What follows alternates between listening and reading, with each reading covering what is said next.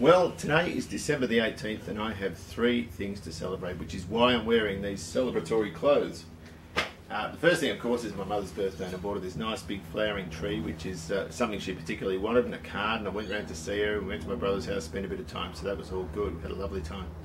The second thing is December the 18th is the last school day uh, for term four here in Victoria. So we had a couple of work parties, that sort of stuff. I've taken a few extra weeks at the end of the holiday, so I'm going back mid-February um, to help my youngest girl settle into high school. She's a bit apprehensive about it, so it's not XC Falcon rebuilding time. That's all about Rosie. And of course, now I've dressed down a bit. The third thing I was going to say was we're going to start working on the XC now, but I've decided not to with this video. There's a little bit more metal work to do, um, which is fine. Um, didn't want to spend too much time with some of the smaller stuff. It wasn't really worth it. Uh, but I do want to talk about parts and some of the, the bits and pieces I've got for it. And of course, later in this episode, I'll talk about a donor car that I've picked up as well. So um, that's where we're at. So this is all about parts. Got a box full of stuff to go to the electroplaters. It's probably a couple of hundred bucks worth, really, with latches and bolts and all that sort of stuff. But because I got this, the car as a shell, uh, there is a lot more. There were a lot more bolts I required. So what you see Rain is giving me a whole lot of stuff. There's uh, steering box, idler arm and panel bolts and all that sort of stuff here, which I needed. These things which the other clown sort of cut off in the firewall, so I need a bunch of those as well. Also for the transmission tunnel, a cross member, all this sort of stuff. I'm not going to talk about bolts too much though, um, because they're boring. The other thing, and I can throw these all in the box, and they're much cheaper than buying each one of these for two bucks each, if you know what I mean, new. You can just get them all plated. Normally a box of stuff's about 50 bucks, but I've got a whole lot of things. Um, Rear courtesy light. Now, the bloke that had this got rid of these brackets, so I've got one, I need the other one, and he tells me he's got another one there somewhere. So uh, we're slowly but surely collecting parts. Now, I'll go and see the uh, electroplater after oh, New Year, and uh, it's it's the 21st today, so we're just before Christmas. So it's a lot to do, but uh, we're slowly getting there. This is part of the rear seat I've picked up. It looks like the padding's gone down a little bit there, but otherwise it's in really good condition. This was very dirty, worse than that in this area here. I've just given it a quick clean up with a bit of Meguiar's. Um, it's basically you just spray it on. The best thing to do is a toothbrush. And you can bring up leather and vinyl very, very, very well using this sort of product. I mean, the best thing to do, I've just done this dry, is to let it sit there for a little while. But I've just got a toothbrush and bit of Meguiar's and just lifts all the dirt out. It's really, really good stuff. And of course, you know, this has suffered mould damage and all sorts of things, but it is very, very much salvageable. And uh, just a really quick lick and a promise like that, and it comes up incredibly well. And vinyl has a way of going shiny when it gets dirty. It gets all muck on it, which sort of goes all shiny and looks revolting. This gives it that lovely matte look again. You know, behind the armrest, it was particularly bad. And um, trim wise, it's in outstanding condition. And I'd sooner use original trim than get the thing re-trimmed, to be honest with you. But, and here's the rear squab. Again, I haven't cleaned it properly. It's got mould all over it, that sort of thing. But behind here, it's come up absolutely lovely. And that's just a little bit of a clean. Not even a proper clean. I haven't let it soak in or anything. So, you know, that'll come up absolutely brand new. Or like brand new. So I've got that all ready to go to the platers. And we've got the seat ready to ready to finish cleaning anyway, but I'm certainly no um, environmentalist, I guess, but the greenest thing you can do is uh, recycle, which is exactly what I intend to do. I didn't learn my lesson with the XW. Fairlane seats don't fit Falcons. Look how far out that is there. The Falcon's flatter at the edge because the Fairlane has a longer section in the dog leg because it's a, basically a wagon floor pan and so that's no good. I can't even use that, which is a bummer because it will clean up absolutely brilliantly. But it's no good. It's got to go back. And it's exactly the same as the ZD Fairlane seat or the seat base I got for the XW. The Falcon one is cut along here more so it can fit in further. These don't fit. That's a mile out. It's a good three, four inches out. So that's a bummer. But you know what? When you're building a car out of spare parts, these sorts of things do happen. So I'll take that back. I can't believe I made that mistake again. But one thing that will fit is this Fairmont GXL grill. It's got a couple of little hairline cracks in it there. And it's got another one somewhere. Oh, quite a large one there, but they are repairable. I've taken the GS Rally Pack grill back and I've gone for the standard square headlight front, which I reckon will look better and, uh, and far more original. Holy crap! Look at this. He's obviously given it a clean too. Gee whiz.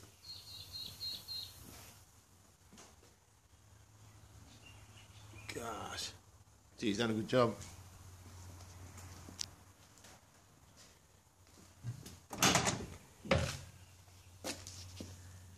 Jeez, it looks nice.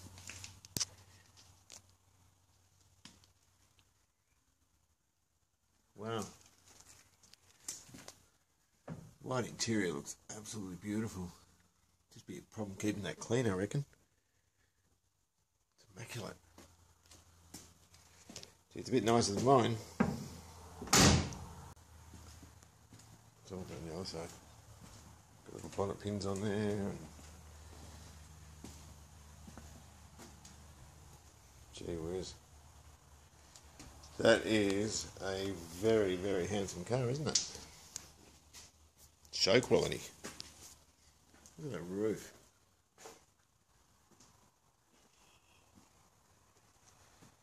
Wow, he must be a happy man. Alright, so we're familiar with the quality of this car, yeah? You happy with it? Yeah, I am. good. Like. Yeah. No expense spared, right? Good man. Yeah. Check out the globe he used. Can we focus on it? Hang on, where is it? Is it yeah, it's got Yeah, a rust. is. It's got a rust hole in it. I can't believe a bloke that does, that does a car like this Uses a dodgy won't, globe. won't spend a dollar on a new globe. awesome. It was temporary. It was very temporary. Picked up another couple of parts, a charcoal canister, and this is a correct XC one with the sort of foil type um, hose that goes off to the air cleaner. That's a good one. People are stupid money for those things as well.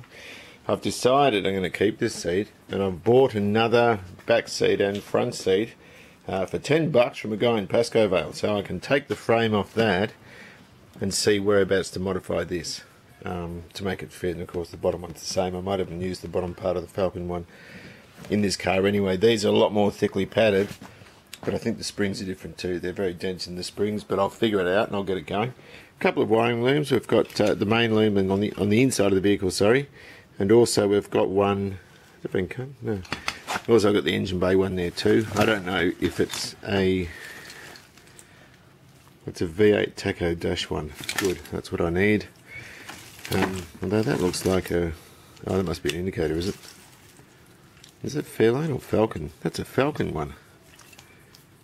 Oh no, that could be a Fair.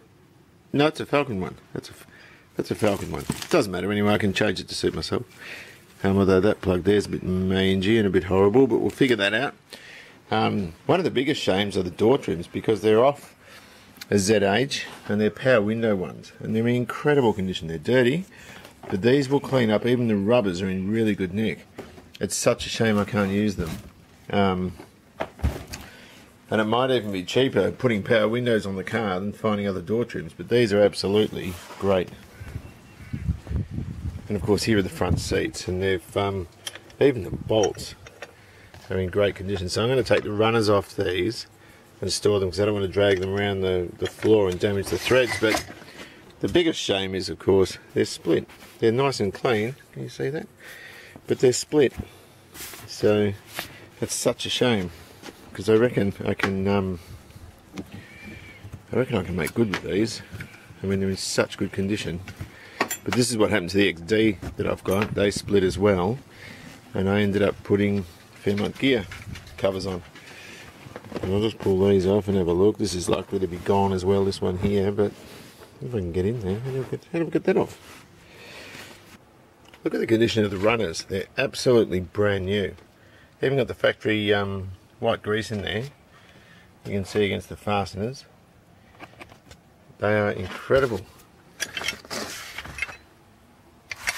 Unbelievable.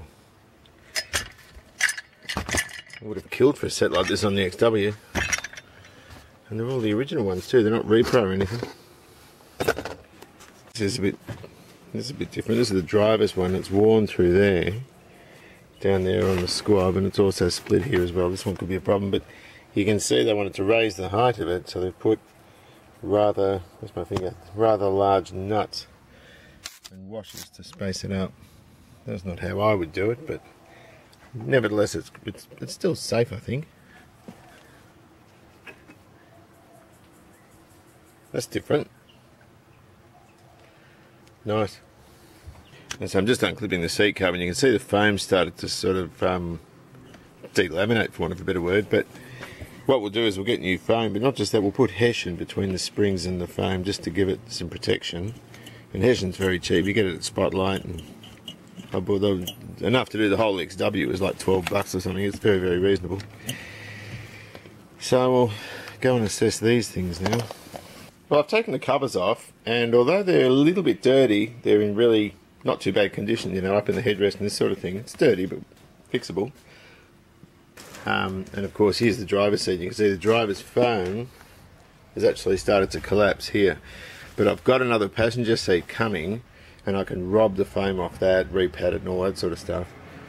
Um, but the best thing to do would be to find another back seat like this, take the covers off, and then they can sort of cut the bits they need to repair those. There's a guy online selling uh, new old stock XC vinyl and houndstooth, that sort of thing, for about $300 a metre, but I want to try and avoid that if I can. Um, garbage trucks here. But uh, that's where we're at at the moment. So, look, all things considered, the Fairlane interior is going to go really, really well. I'm happy with it. And um, I'll just put it into storage for now until I need it. Well, I'm just preparing these things to store them because I don't need them just yet. And it's easy, or it's at least it's easier to store them by just separating the squab from the cushion. Um, and I'll just put its old sheepskins back on. Um, just to just to store it while, or just to keep it sort of from getting damaged while it's been stored. So we can just undo these and separate the two halves. I'll take these um, recliner mechanisms out and put them away as well um, because they're quite easily damaged as well because they'll be sort of hanging out from the bottom of here but there's a couple of large washers. Good thing about these, they've never been apart, never been touched and so it makes life oops, a lot easier. I can remember how to get these. I think you push them down, don't you? It makes it a lot easier uh, to sort of deal with. Because you know every part's there.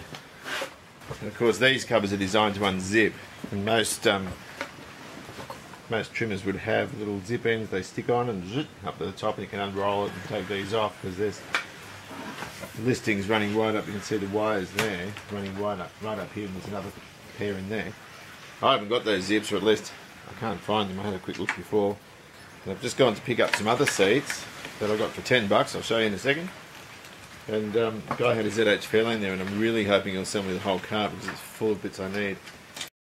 But of course to make a car that nice you do need a couple of donors. And there's one there. That's actually quite restorable. That's an original XY302 Fairmont quite a nice car. And of course here's the other donor and this has provided a lot of parts for him as well. But even a car in that shape still has a wiring loom in it it. Still has a good cross member in it. They still provide lots and lots of bits and pieces when, even when they're in this condition. Of course, the other thing we've got here is the engine bay loom. Um, and these are good in that they're separate from the interior loom. They sort of plug in with those three plugs there. This is a 302 auto one. It's got the neutral start switch one there. I've started undoing it here to figure out what the wires do and sort of labelling them off um, a, a diagram I've got. So that's all in pretty good nick. A little bit of overspray there. It's all very, very easy to fix. Hasn't been mucked around with much. There's a couple of little bits and pieces on it that have been. Um, but of course we can um, reroute the reverse wires on this to the inside of the car for the for the four speed and um, and just basically bridge the ones that go to the safety aspect of it so it can start um, out of park and neutral. There's a tack feed there, coil. It has this uh, resistance wire in which is coming out because I want to run a 12 volt feed straight to the core for the electronic ignition. And of course, original 351s had an electronic ignition in them themselves um, on the passenger side in a guard, but I don't want to run that type, so it's no big deal. This is the interior lumen. Of course, this one is a Perla. It's never been touched. It's got, they're the sort of uh, interior courtesy light uh, switch-wise. Fairmonts and GXLs had them on the back doors as well, so I don't know if they plug into that or they have them extended. Um, so this is probably Falcon 500. It has even the original, where are they? Um, radio plugs and everything on them as well. So or it has it on there as well. So, oh yeah, here we go. That's the radio there. That's the clock. So none of it's been cut. Absolutely none of this has been cut. Um, now the standard connector, I think, is a standardised part between GSs and GXLs and so forth. That little pink wire there's the tacho from the negative on the coil, so that'll all work in there. It's also got a driving light wire there, so I don't know if the standard one has that sort of tucked away or whether it actually had driving lights this car, but this loom is a cracker. The only issue is uh, there seems to be two different types, one with air conditioning and the air conditioning looms I know from the GXL I had years ago, that was an air conditioned car and it also had um, over on the sides the plugs for the power windows if you wanted power windows. And I'm sort of thinking with the door trims I've got being in such good condition they're, they're a power window door trim. Might even be cheaper getting power windows than a new set of door trims if I can find them good enough.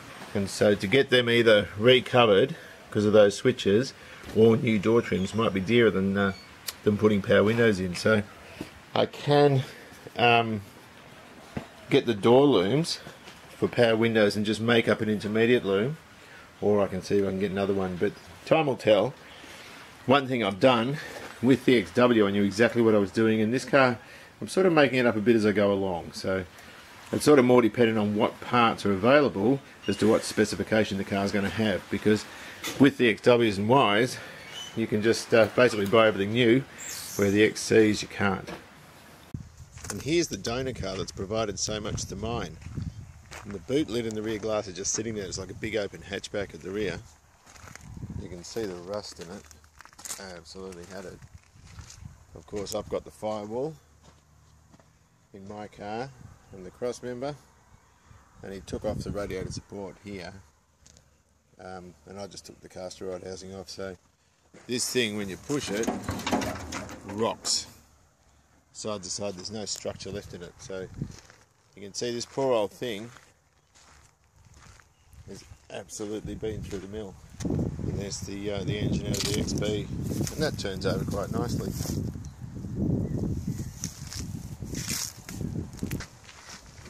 Rightio, mate. You're going to give us a demo?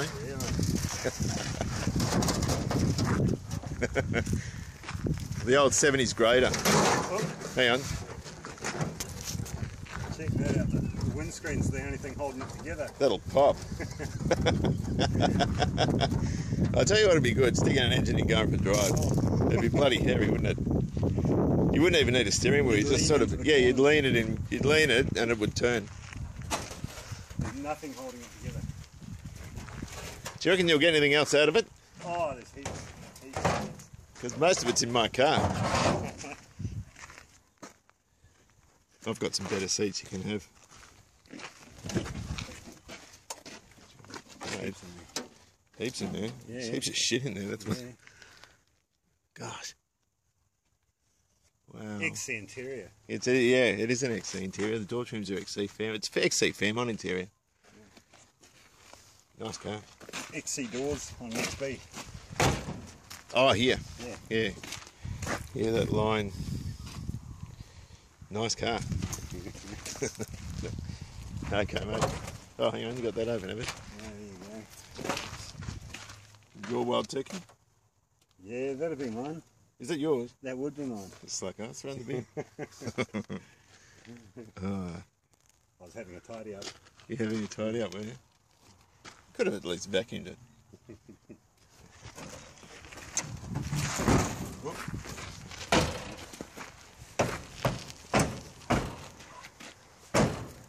Mate, Door hinge pops open. the door. Oh, that's gold. You know, thanks very much for buying that and then giving me all the bits out of it. That's cool. Alright. Hopefully, I'll have a Fairlane for you. Yeah, it's alright. Right. See ya. See yeah. And of course, the other thing I bought was this set of seeds here. There's a bucket and a rear seed out of an XC Falcon 500. And I paid the grand total of 10 bucks for these. Now, there's a couple of reasons why I did this. One, some of the vinyl's good and usable for repairs on the other seats. Um, not a great deal of it there, but of course, we've got it at the back as well. It's in really good condition. And just like the Fairlane one, the runners and underside and padding's even better in this than what the Fairlane had. And so these are all parts that are good. And here's the difference in the lower seat. The uh, cushion on the back. Now, I don't care who tells you Fairlane seats fit in Falcons, they don't, they're completely different. But you can see here, on the back corner, how square that is, as opposed to this, this cuts across, and that's for the wheel arch, the rear wheel arch. They've got the same sort of shape around the top, but again, these cut across. So I can make these covers fit, but it's going to be a job. They're also sprung completely differently to give them that sort of lounge chair feel. Now, I used an XC rear seat, a XC rear cushion I should say, in the XW. I had to modify it and have this up on stands. Um, and I had to weld a rod across because these are no good for the XWs, they don't fit. I did change it around so the uh, XY Fairmont cover would fit. Don't forget that XYs are square there, whereas XRs, uh, T's and W's are rounded in that section. But we don't have to worry about anything with this. But to get that cover to fit is going to be a job, but I think it's going to be a job that's well worth it. So we have to use this frame, not that one. And again, although dirty, there's lots and lots of vinyl here that can be used for panel repairs on the other seats we've got. And again, we can see that's the XC500 seat. Fairmonts, of course, have a brace down here and here with the armrest. And here's the, I've just got this red sheet here to stop it scratching the vinyl, but you can see the difference there. Um, now I want to use this frame, but I do have to modify the back. Or at least I should say the side. You can see the profile thickness of the Falcon one as opposed to Fairlane. Absolutely hugely different. I'd sooner use this frame here because of all the armrest stuff and modify the side of it. So I do need to take both covers off and have a good look at how that's going to work. But this is an example of why and a lot of people do sell um, Fairlane seats as XY, XA, you know, XB, XC, and they're completely different. So you need to be careful of that when you buy them. And even the bottom part of the frame where they're mounted is different. So this is going to require a lot of thought. Um, and also the cover sort of comes right up and is secured on that lower rail there where it's totally different. So we do need to look really carefully how this works. So all told, I'm pretty happy with my $10 seats. They even came with free bird poo. I've just sort of undone the zips on this and you can see the interior condition of this thing is absolutely stunning. And I've just taken that recliner mechanism off, but you can see what 10 bucks buys you in an XC uh, as opposed to what you pay for similar sorts of stuff on XWs and XYs. I mean, that's just unheard of. Probably to do with the fact that most XCs had bucket seats, whereas XWs and Ys had benches, most of them. But um, yeah, look, I'm more than happy with that. Hey Rosie, get a look at this. Come here. Mum's washing a car. No, she's vacuuming it. I've got more chance of winning the lottery than seeing that. Cool.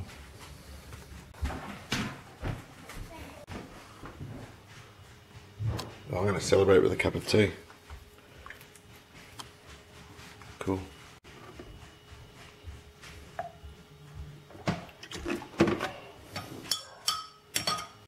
Yeah, Mum's washing the car. Check it out. Oh, it's mum out. Yeah, look. She's just behind that bush.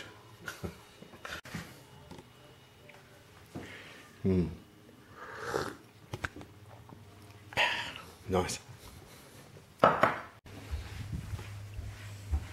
Oh, nice. Do I deserve that? Oh, wait. Nice and clean. You happy? Yes. Did a good job. Keep it in mind now. No. Don't take it. I'm not going to make it. Sorry. Oops, don't stab me. bit of a score here. Just got a GXL dash, and it's the padded type. And this is in absolutely impeccable condition. It's like the glove box I got, and even the printing down there's uh, quite good. And what's unusual about this one, it has a police interceptor speedometer um, there. So I don't know. I don't think it's been put in later. I thought the cop cars were just Falcon 500s with those speedos. Someone could have put th- that into a GXL. Uh, important if you're doing one of these cars, just look down on the tack there. If it says 8, you know it's a V8 one. Um, and it'll also say there, it's upside down, but you get the picture. So that's a bit of a good, uh, that's a bit of a score. I'm happy with that. It looks to be in very good condition. I mean, it's weird. This is so good. I remember mine was a bit wrinkly, my green GXL, and that was in the 80s. And my brother's was a bit too. So I don't know how this has stayed in such good condition. The car must have been garaged or whatever. I don't know, but it doesn't look like it's been out in the sun for a long, for a long time. But these lenses here I can clean up a bit. They're a little bit scuffed around the edges there, and um, you know that'll all come up well. That's just where the dash has been rubbing against it. And of course, this could have been put in later. I think the police interceptors, most of them are just Falcon 500s with. Um, oh, they could have been GS Rally packs, but they were. I thought they were just Falcon 500s with you know standard dashes, but um, and four-speed manuals. But it all looks to be in very, very good condition. That's cool. Very happy with that, and very unusual too. Right, went and had a look at a ZH Fairlane today. Pretty poor condition, really, but for the $590 I paid for it, it turned out to be a pretty good buy. Lots of wiring and that sort of thing we can see, and it's good for me because I haven't got the right engine bay loom. Uh, this was a November 78 car, I think, or something like that. A very, very late ZH. Radiator support brackets you can see there. It's all looking pretty good, even though it looks dreadful because there is some rust in the sill, and that Ooh, shot's coming up now, right there. Um, moving inside the car, we have a nice leather interior, which is a little bit hard, but it is actually re um, doable. You can reuse that. He's taken the radio out. That's a brilliant dash frame, and I can see exactly how it's fitted. So I can use that in my car, and I'm really happy about that. Um, moving into the back, the back seat's out. Nice interior, nice headlining actually in ochre, which my car could use, but I'm going blue, so it's useless. Um, so all up for the 590 bucks, I'm pretty happy. He does want the rear calipers off the disc, which is a bit of a shame. Uh, also, a lot of stainless mouldings, door cards, all that sort of stuff, and of course an LPG tank and gases for barbecue. So I don't want that. I don't like gas. So that's what I looked at today. And of course, this is a power window setup for it, or one of the motors from the back, I think. Um, interestingly, it says XC there. This this regulator looks to be in wonderful condition. Absolutely no rust or anything like that, so that's cool. But there is a problem with it in terms of the um, the little plastic buffer that goes in there, sort of turned into dust, basically. So that's all got to be taken out. You can get um, rebuild kits for these, but the motor does work, um, which is a good thing. I'm just watching that carrier. So we're going anti-clockwise and clockwise. So that motor works. So hopefully the other three do. Um, and of course the other thing are these uh, armrests. This car had the ochre interior. The, the Fairlane had the ochre interior. Mine's going to be blue, but you can see the switches all look in pretty good condition. And I've checked out um, some of them, which I could with a multimeter, and they all seem to work. So, or the ones that I could check did. So I'm pretty happy with that. So that's all I've got time for in this uh, in this episode. I'm still working on these gutters and I've replaced metal down in here on the A pillar.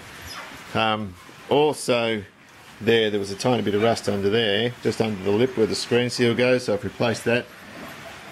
Um, bit of metal here, which I've rolled. Well, I haven't rolled it at all. We're on holidays and I can't get to the rolls at work, so I just bend it around a tree and I'll fill that in and cut it out the way it's supposed to be cut out, which is sort of similar to a, a saddle blanket on a horse. They sort of they come down like that and they go round and then come down again.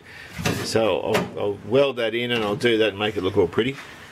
Oh, and of course I've also um, put in these seat frames tentatively so I can see exactly how they fit and I can modify the other ones. And I spoke enough about seats. I'm going to bore you to tears with that. So we'll leave it there.